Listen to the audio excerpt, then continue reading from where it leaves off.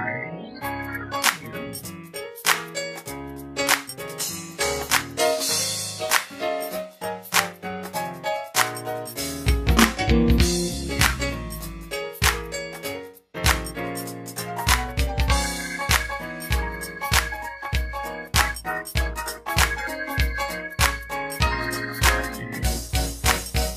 Bless the Lord, oh my soul, and all that is within me. Bless his holy and righteous name. Pastor Evangelist Arthur Weathersby. And I'm Pastor Sherry O. Weathersby. That's just the truth. Anyhow, with the Weathersbys of Sound the Alarm Ministries Yes. here on Heart Ministry Network TV, we welcome you back for another week, the third week in February. Oh my God, we we operating out of a series, and, and we thank God for all of you uh, Heart Ministry Network Amen. TV loyal listeners and Amen. viewers.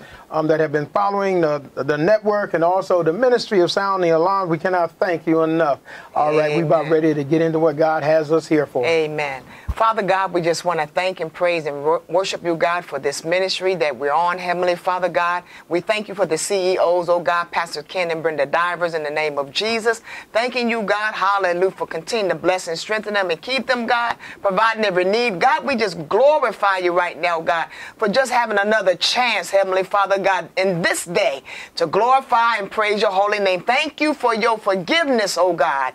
In Jesus' name, hallelujah. Glory to God as we move forward, oh God, and forgiving others, oh God, and going on to be what you will have us to be in you, Father. Thank you for your word you're going to send forth, God, with all power and anointing, Heavenly Father. Send your glory, oh God. Hallelujah. Let your power fall upon our hearts and minds and our ears, oh God, that we may be able to hear what you're saying to us, oh God, and be a doer of that word. Let our eyes, minds, eyes be illuminated and enlightened, oh God, to the hope that's within you, God, that we have through Jesus Christ and the word of God. Father, now let the words of our mouth, meditation, and our heart be acceptable in thy sight. Oh Lord, our strength and our Redeemer. In Jesus' name we pray, and our soul say amen. Amen. Praise God. Hallelujah. We're coming out of the Amplified Bible. And we're going to read 2 Corinthians 5.17. Then we are going to Colossians 3rd chapter, 1st through the 8th verses. 2 Corinthians 5.17 reads, Therefore, if any person is engrafted in Christ, the Messiah, he is a new creation, a new creature altogether. The old, previous, moral, and spiritual condition has, has passed away. And behold, the fresh and new has come. Amen. Now we're going to Colossians 3 1 through 8. If then you have been raised with Christ to a new life, thus sharing his resurrection from the dead, amen, and seek the rich eternal treasures that are above where Christ is seated at the right hand of God and set your minds and keep them set on what is above, the higher things, not on things that are on the earth. For as far as the world is concerned, you have died, and your new real life is hidden with Christ in God. When Christ, who is our life, appears, then you, you also will appear with him in the splendor of his glory. So kill dead and deprived of power, the evil desires lurking in your members, those animal impulses, and all that is earthly in you that is employed in sin, sexual vice, impurity, sensual appetites, unholy desires, and all greed and covetousness, for that is idolatry, the define of self and other created things instead of God. It is on account of these very sins that the holy anger of God is ever coming upon the sons of disobedience, those who are obstinately opposed to the divine will, among whom you also once walked, which when you were living in and addicted to such practices. The eighth verse in conclusion, but now Put away and rid yourselves completely of all these things anger, rage, bad feeling towards others, curses and slander, foul mouth, abuse, and shameful utterances from your lips. Praise God. May God continue, oh, hallelujah, to um, bless his word where the word is already blessed. So we thank God for the blessed word of God out of 2 Corinthians 5 17, Colossians 3 1 and 8, that it may be sanctified in our hearts. Amen, amen. As always, God's word is a lamp unto our feet and a light unto our path. We're continuing on with the series that we began the beginning of this month. Now that you are saved, now What? what? Now that you're saved, now what? If you followed us from the beginning of the month, the first, uh, first um, Wednesday in the month, uh-huh, February, we were Romans 10 9. where you got saved. Mhm. Yes. Now that you got saved, there's something that, that has to happen. And we've identified that. We were in mm-hmm. Romans 12, 1, Yes. 2, and we were in a few other scriptures as well. But those were the found that was the foundational scriptures that we had. Mm-hmm. Now here we are in 2 Corinthians 5, 17, continuing on with the thought. Because once you come into salvation, and once we lay down that, I mean salvation, yeah, and once we lay down that foundation, our salvation is a process that's continual. Because when you go back to even to Romans 10, 9, when the scripture mm-hmm. says that when you, if you confess and acknowledge your lips Jesus Christ is Lord, believe in your heart, cling to, adhere to, and rely on the truth that God the Father raised him from the dead. This latter part is what I want you to hear. The Bible says you will be saved. Yes. You will be saved. So why am I emphasizing that? Aren't I saved once I accepted Jesus Christ in, as, as my personal Savior?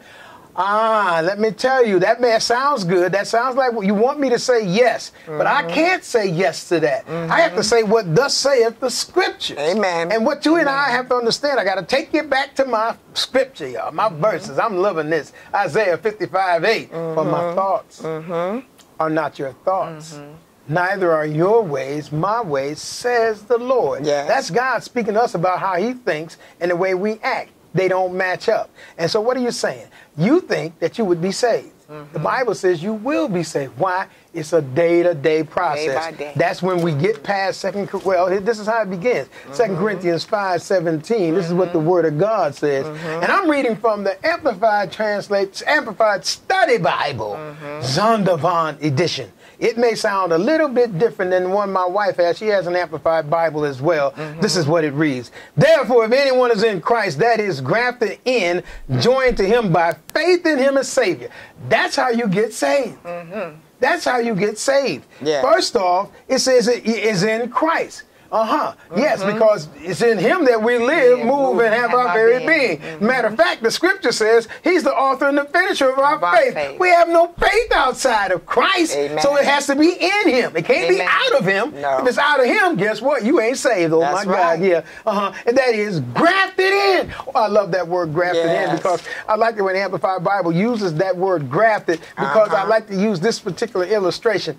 Uh, just you, you know, you've heard people in, in, that have had, been in uh, horrendous fire uh, accidents and things of that nature where it was fire um, that was involved, and they might have had some personal bodily injuries um, that that they were burned real bad, and and there and there was a necessity for skin grafting to repair uh, that damaged area. Well, that's something that's done on the outward, um, with the skin. But the Bible lets us know that because we have been, oh my, oh my God, we have been burned, oh my God, we have been burned, uh, irre- irreprehensibly burned by sin. Sin has wore us out. Yeah. And, and, and, and- God no longer can use us in the way that we was. So what does he have to do? He has to he has to perform a, a cosmetic, uh, oh my God, somewhat of a cosmetic surgery on us. Yes, But it's not cosmetically done from the outside. Yes. It's done from within. So that's why we have to be engrafted Yes, in Christ. that's right. Uh-huh. Because the outward the outward part of us cannot be saved. The flesh right. can't be saved. That's right. So God saves from within. From within. So and he he deals with our and he deals with our heart. That's right. He did that's that's why the. Circumcision of the heart. That's why it's engrafted. Yes. Amen. Praise the Lord. And then it goes on to say with that particular verse, it's engrafted in, joined to him by faith in him as Savior. Don't you know that we are God is a partner with us? Yes. We have a joint partnership with the Yes. Lord. Co-labors together. Ain't that a good them. thing to yes, know? Yes, yes, Oh my God, oh my Yes, God. Yeah, yeah. Jesus and me. That's the Yes, name of my company, our company. Jesus and me. Why, why are you just saying me? Because salvation is personal. That's personal. Ah, yeah, uh huh. Yeah, see, I got you. Oh, yeah, uh huh, uh huh. Yeah, yeah, uh huh. Engrafted in Christ, yeah, yeah, he is a new creature, reborn and renewed by the Holy Spirit. Oh, my God, guess what? Mm-hmm. You nor I can go uh, and, and talk about our relationship with God and declare mm-hmm. that we are new in mm-hmm. Him unless the Holy Ghost does it. That's right. The Holy Ghost is the one. He's the one. He's the transforming agent. That's right. He's the transforming agent of God. Yes, he If is. he ain't operating in your life, you ain't saved. Well, let's read what Romans 10, Romans 8 on that note that you had just what you had just said. Praise the Lord. Amen. We're getting there. Romans 8 and 9. Mm-hmm. But you are not living the life of the flesh, you are living the life of the Spirit. If the Holy Spirit of God really dwells within you, directs and controls you. But if anyone does not possess the Holy Spirit of Christ, he is none of his. He does not belong to Christ. He is not truly a child of God. What? You mean what I said was absolutely correct? It's the word of God. Oh, absolutely, it was correct. You know why it was correct? God is not a man That's that he right. should tell or act a lie. And, and matter of fact, the word of God says Isaiah 55 11, that was Numbers 23 19, guys. I partially uh, quoted. Uh-huh. No, uh, Isaiah 55 11 says, So shall my word be to go forth out of my mouth. Mm-hmm. It shall prosper for the thing for which I sent it. It don't come back to me void. So if God says that if the Holy Ghost ain't in you, the word God says the Holy Ghost ain't in you, you ain't saved. That's exactly what he means. Uh huh. So, so, so yeah. And, and- and, yeah, his spirit. The old things, the previous moral spiritual condition have passed away. What's the old things? That sinful nature of ours. Well, no, the sinful nature's still there. But the way that we acted, how That's we were right. living our lives. Mm-hmm, we were mm-hmm. living a life of sin mm-hmm. prior to salvation. Yes. That needs to die. Yes. And it needs to be it needs to die daily. Daily. It's called I- mortifying the deeds yes. of the flesh. Mortifying, And it says yes. daily. That's why I told you before salvation is a process. That's And you have to go through some and in that process there should be some evidence of change called progressive change. Yes. Uh-huh. Should you automatically one day just stop sinning? No. No. But you know what? The Bible says, oh my God, watch this. You shall know them by the fruit that they bear. Mm-hmm. That's right. Ooh wee! I just hurt. I just helped somebody right And, there. and look at what Romans, uh, 1 John 3 and 9 says. No one born begotten of God deliberately, knowingly, and habitually practices sin. For God's nature abides in him. His principle of life, the divine sperm, remains permanently within him, and he cannot practice sinning or committed because he is born begotten of God. That's right. That's why, behold, new things have come. Mm-hmm. Because spiritual awakening brings a new life. That's the end of, of, of verse 17, Mm-hmm. 2 Corinthians 5 17. You know, God is good and He's Amen. good all the Yes, He time. is. I think we need to pause right there for the Pause for the cause. cause. Amen. This is Sound the Alarm Ministry. No, this is, that's just the truth. Anyhow, Yeah. with the Weathersby's of Sound the Alarm Ministry on Heart Ministry Network TV. We'll be right back after, after these moments. Hey there, praise the Lord. I am Pastor Sherry O. Weathersby. Praise God, along with my husband, Pastor Arthur Lee Weathersby. Praise God, and we are Sound the Alarm Ministries. Amen. Praise God. Praise God. And we have a, a ministry on um, on Wednesdays at 5:30 p.m. Eastern Standard Time. That's just the truth, anyhow. You all ought to join us. Praise God. God is speaking. He's speaking. Hallelujah. Praise God, we've had our moments and we're back. oh my God, yeah. Hey, look at me, I'm old and I will have some moments. Yes, I will. Uh-huh. Don't, don't, don't, don't, oh my God, don't, don't hate. You'll get there. Yeah, we're going to go to Colossians. Okay. Let's go to Colossians, the third chapter. And, and let's start at that first verse out there.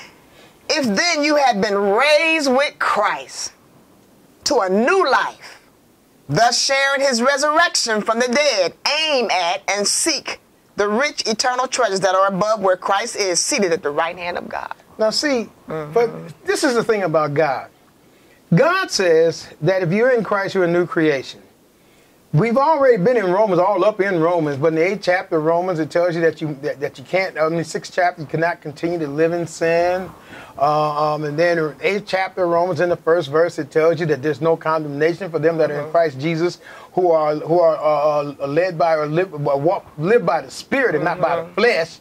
Uh huh. So God tells you all these things, but one thing I'm, I can assure you about God and, and, and who He is, He will give you detailed instructions on what you should be doing. So mm-hmm. now that you're saved, now what? Don't worry about the now what, because a lot of times people sit around there waiting for, oh my God. Don't you know, like if mm-hmm. you're at work, I mean, I've, mm-hmm. I've been in this kind of situation before.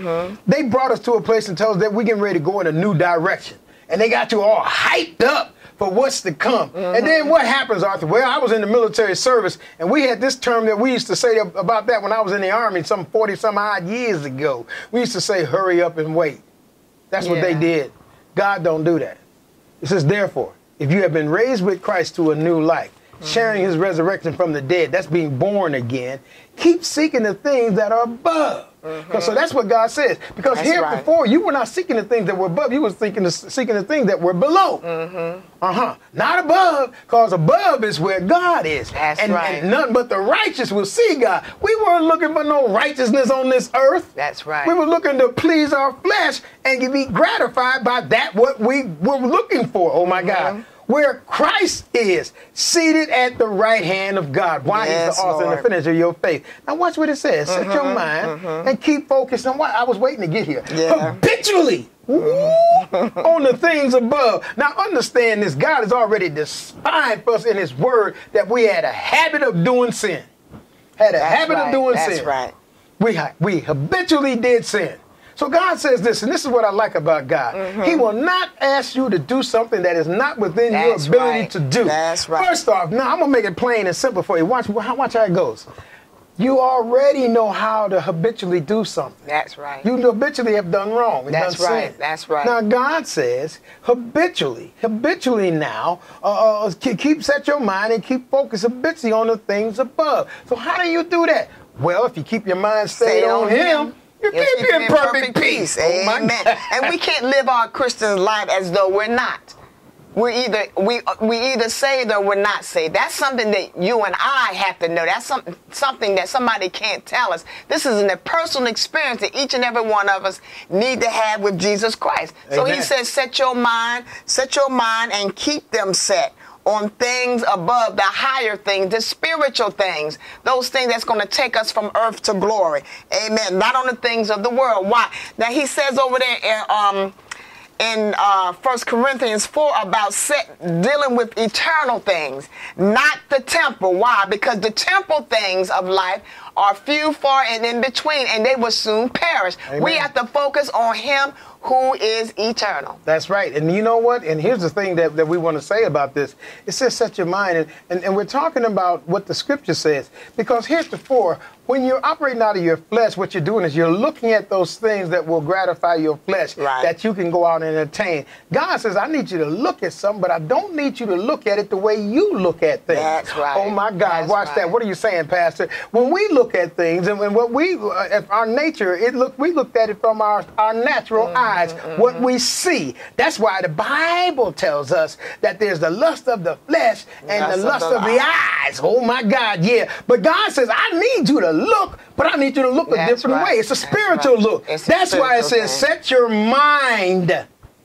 Set your mind. Your mind is what is where you wherein lies your spiritual eyes. Your soul, yes. That's yes. where your spiritual ah, eyes yes, are. that's so you have to set your mind and keep focused That's habitually. right, Why? right. Because there's so many things going on in your mind that are designed to keep you out of focus. They are distractions. right. And the enemy, he really seeks um, to cast us down. He casts us off the excellency of the knowledge of God that we have. That's why we got to constantly keep casting down what vain ima- imaginations and every high thing that would strive to exalt itself above the knowledge of God that we receive from him daily through the word of God. Amen. We got to keep God did yes, he did it all by himself. He did everything that we needed him to do. But that does not negate once again our accountability and responsibility to do God's word. He made it plain for us. He opened up the way. What more can he do?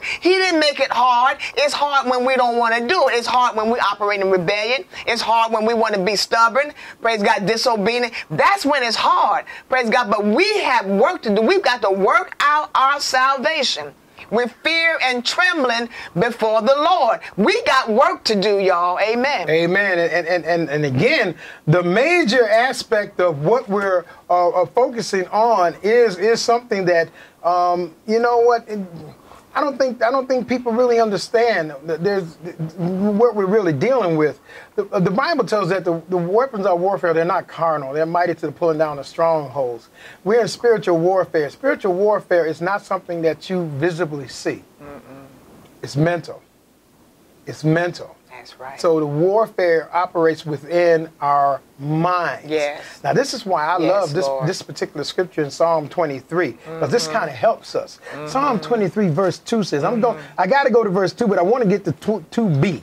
He lets me lie. He lets me lie down in green pastures. That's good right there. But this is what I want right here. He leads me besides the still and quiet waters. Yes. And what's that? What's that still and quiet waters represent? That's, That's your mind. Yes. Because why is it has to be still and quiet waters? Because our minds, outside of relationship with God and Him leading us to beside the still and quiet waters, is always in a state of upheaval. Mm-hmm. They- uh, uh mm-hmm. anybody, and if you want to be honest about it, you you'll say Amen. Amen. Because our minds are always, oh my God, mm-hmm. so much stuff be going on in our minds. Y'all about ready to make me lose my mind up in here, up in here. That's just the truth, anyhow. Oh amen. Oh my God. So God has to get us to a place where our minds can be at peace. It can be at rest. So it can be calm. Why? So that we can keep our set our minds and keep focused habitually on the things above, heavenly things.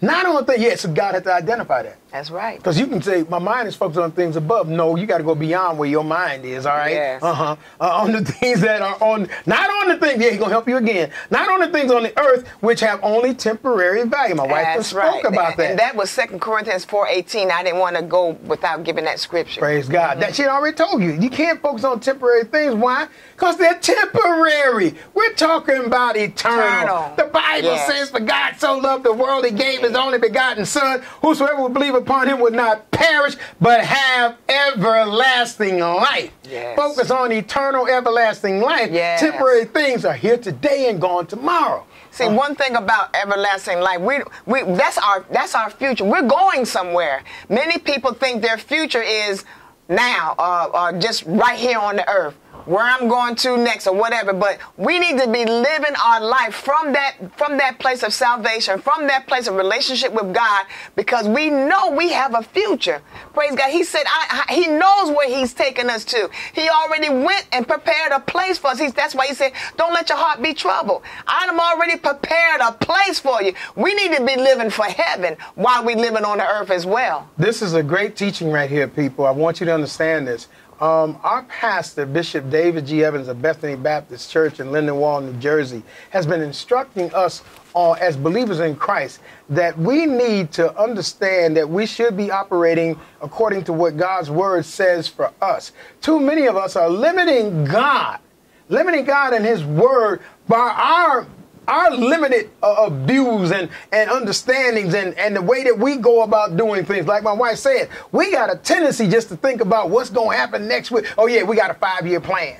hmm I got a five year plan of what I'm going to be doing here and there. I got a goal set for me that I'm going to do this and do that. That's all well and good. But your Yes, focus ought to be beyond that. Beyond that. That's right. Because I tell you what, oh my God, watch this. Matthew 6:33. Seek ye first the kingdom of God and his righteousness. That's setting your minds on the heavenly things. And guess what? All of these other things will be added unto That's you. right. Don't even have to so, so, ask, so just there be we go. added. It'll just be added to you. Mm-hmm. Just give it to you for no reason. Mm-hmm. Oh my God. Ooh, ooh, wee, ooh. Ooh, that's good right there. Mm-hmm. but you died to this world. And your new real life is hidden with Christ in God. Oh my God. That's that would that that third verse would teach right there. Anybody trying to find your life? Matter of fact, we need to stop looking for that old life. Amen. God is that we're hid. It's dead. It's in the sea of forgetfulness. As far as the east is from the west, God said, I am forgiven you. Now we got to learn to forgive ourselves. Go beyond, praise God, because your life is hidden. Anybody try to go deep sea fishing on your life, they trespassing.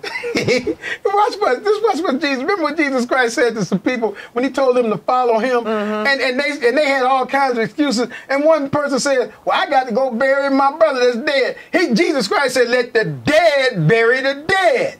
My that's Lord. yeah. That's why. Oh my God. That's why when you die to this, you you die to this world. So therefore, you don't need to be concerned about things that are dead. You need to be focused on things that are alive. Yes, and yes. and the Bible says that it's in Him we live, move, and have Have our our very being. being. Oh my God. New and, and don't you know, yeah, we are. And it's a new, your new real life, your new real life is hidden with Christ in God. It's hidden with Christ in God. Because you know what? Sometimes people just don't know. They don't know your, they don't know your, oh yeah, watch this. They may know your story, they may know your glory, but they don't know your story.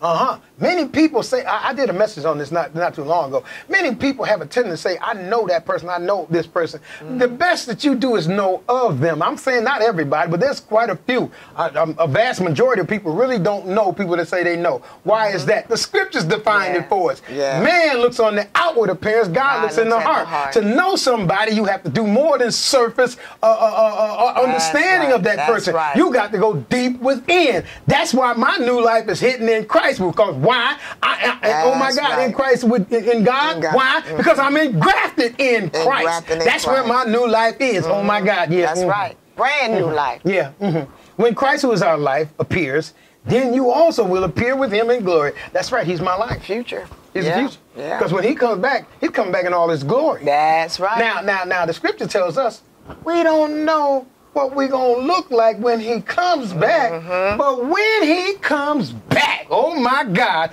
this this more this mortal body, this here, oh my God, the, oh this mortal this mortal flesh, this here, yes. uh, uh, this this body, yes. this body will take on immortality, yes, and it will be glorified Hallelujah. as he is already glorified. and guess what? Thank I don't know what I'm gonna look like, but I'm gonna look, look like, like him. him. Oh my God, I'm gonna look like him. I'm gonna looking like my daddy. Yeah, yeah. That's a good thing to that's look like thing. your daddy. When you yeah. have resemblance of your daddy, yes. you know you belong. You oh belong. my God. Uh, now that you say, now what I tell you what, we're gonna have to park it right there. We got real excited right here, right there. But we'll be back. Yes, that's all right. We'll be back next week. Don't hold Thank on, don't worry. Lord. We'll be back. I'm Pastor Evangelist Arthur. Sherry Weathersby. This is That's the Truth. Anyhow, with the Weathersby's of Sound the Alarm Ministries on Heart Amen. Ministry Network TV. When it is being and has been done from the heart, you know, know that it is being and has done. been done right. right. And guess what? We, we do the thing. In, in the, the Lord. God, God bless, bless you. Bye bye.